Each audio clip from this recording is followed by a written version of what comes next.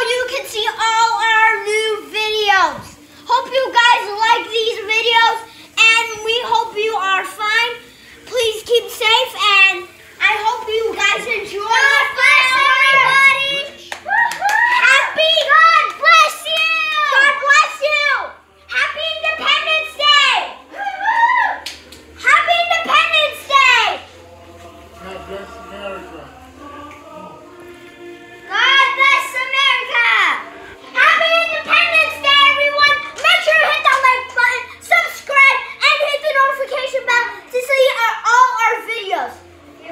enjoy this video.